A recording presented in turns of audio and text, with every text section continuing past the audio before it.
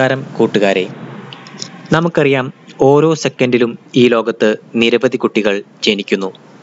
എന്നാൽ ചിലർ ഈ ലോകത്തെ തന്നെ മാറ്റിമറിക്കാനായി ജനിച്ചവരാണ്. ഇന്ന് ഞാൻ പറയാൻ പോകുന്നത് ഫേസ്ബുക്ക് എന്ന സോഷ്യൽ മീഡിയ പ്ലാറ്റ്ഫോമിന്റെ സ്ഥാപകനായ മാർക്ക് സുക്കർബർഗിനെ കുറിച്ചാണ്.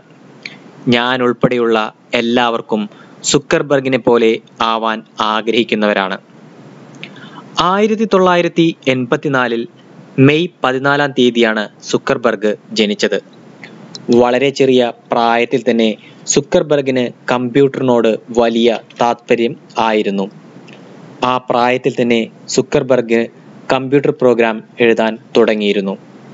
സുക്കർബർഗിന്റെ പിതാവ് അവനെ പ്രോഗ്രാം എഴുതാൻ സഹായിച്ചിരുന്നു. എന്നാൽ സുക്കർബർഗിന്റെ ബുദ്ധിക്ക് മുന്നിൽ ഉത്തരം കിട്ടാതെ വന്നപ്പോൾ സുക്കർബർഗിന്റെ അച്ഛൻ അവന് ഒരു കമ്പ്യൂട്ടർ ടീച്ചറെ ഏർപ്പെടുത്തി. മാർക്കിന്റെ ചോദ്യങ്ങൾക്ക് മുൻപിൽ പലപ്പോഴും ടീച്ചർക്കും ഉത്തരം മുട്ടിയിരുന്നു. അച്ഛൻ ജോലിക്ക് പോയാൽ ഒറ്റയ്ക്കായിരുന്ന സുക്കർബർഗ് അതിന് പരിഹാരമായി തന്റെ പന്ത്രണ്ടാമത്തെ വയസ്സിൽ ഒരു മെസ്സഞ്ചർ കണ്ടുപിടിച്ചു. അതിന് സൂക്ക് നെറ്റ് മെസ്സഞ്ചർ എന്ന് പേരുമിട്ടു. വീട്ടിൽ നിന്നും ക്ലിനിക്കിൽ ജോലി ചെയ്യുന്ന അച്ഛനുമായി സംസാരിക്കാനാണ് മാർക്ക് സുക്കർബർഗ് അത് കണ്ടുപിടിച്ചത്. കുട്ടികൾ കമ്പ്യൂട്ടറിൽ ഗെയിം കളിക്കാൻ പഠിക്കുന്ന സമയത്ത് സുക്കർബർഗ് ഗെയിം ഉണ്ടാക്കാൻ തുടങ്ങിയിരുന്നു. സ്കൂൾ വിദ്യാഭ്യാസത്തിന് ശേഷം ഹാർവാർഡ് യൂണിവേഴ്സിറ്റിയിലാണ് സുക്കർബർഗ് പഠിച്ചത്. അവിടെയും എല്ലാവരും അത്ഭുതത്തോടെയാണ് മാർക്ക് സുക്കർബർഗിനെ കണ്ടത്. പ്രോഗ്രാമിംഗ് എക്സ്പേർട്ട് എന്നാണ് എല്ലാവരും അവനെ വിളിച്ചിരുന്നത്. ആ സമയത്ത് കോളേജിൽ ഫേസ്ബുക്ക് എന്ന പേരിലുള്ള ഒരു ബുക്ക് ഉണ്ടായിരുന്നു. അതിൽ എല്ലാ കുട്ടികളുടെയും ഫോട്ടോയും ഡീറ്റെയിൽസും ഉണ്ടായിരുന്നു. ഇതിൽ നിന്നും പ്രചോദനം ഉൾക്കൊണ്ട സുക്കർബർഗ് ഫേസ് മാഷ് എന്ന ഒരു വെബ്സൈറ്റ് ഉണ്ടാക്കി. ഇതിലെ ഏറ്റവും പ്രത്യേകത എന്തായിരുന്നു എന്ന് വെച്ചാൽ ഈ വെബ്സൈറ്റിൽ പെൺകുട്ടികളുടെയും ആൺകുട്ടികളുടെയും ഫോട്ടോ ചേർത്ത് വെച്ച് ആരാണ് ഹോട്ട് എന്ന് കണ്ടുപിടിക്കുന്ന ഒരു ഓപ്ഷൻ ഉണ്ടായിരുന്നു.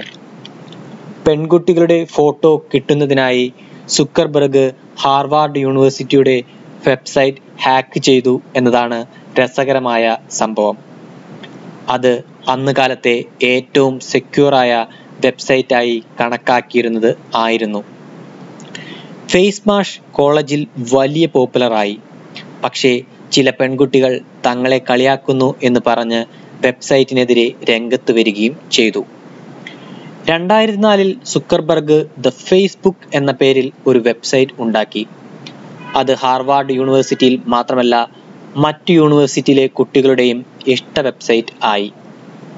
അതിന്റെ പോപ്പുലാരിറ്റി കണ്ടപ്പോൾ സുക്കർബർഗ് അത് കുട്ടികൾക്ക് മാത്രമല്ല എല്ലാവരും ഉപയോഗിക്കുന്ന കഴിയുന്ന തരത്തിലാക്കണമെന്ന് തീരുമാനിച്ചു. കോളേജ് വിദ്യാഭ്യാസം പാതി വഴിയിൽ ഉപേക്ഷിച്ച സുക്കർബർഗ് കുറച്ച് ആളുകളെ കൂട്ടി രണ്ടായിരത്തി അഞ്ചിൽ ഫേസ്ബുക്ക് എന്ന വെബ്സൈറ്റ് ഉണ്ടാക്കി. പിന്നീട് സുക്കർബർഗിന് തിരിഞ്ഞു നോക്കേണ്ടി വന്നിട്ടില്ല. ജനങ്ങൾ ഫേസ്ബുക്കിനെ സ്വന്തം നെഞ്ചിലേറ്റെടുക്കുന്ന കാഴ്ചയാണ് കണ്ടത്. ഫേസ്ബുക്കിന് മുന്നിൽ ഗൂഗിൾ എന്ന ഭീമന്റെ ഓർക്കുട്ട് പോലെയുള്ള സോഷ്യൽ മീഡിയ വെബ്സൈറ്റ് തകർന്നടിയുന്ന കാഴ്ചയും നമ്മൾ കണ്ടു. രണ്ടായിരത്തി പതിനൊന്നിൽ ഫേസ്ബുക്ക് ലോകത്തിലെ ഏറ്റവും കൂടുതൽ ആളുകൾ യൂസ് ചെയ്യുന്ന വെബ്സൈറ്റ് ആയി മാറി.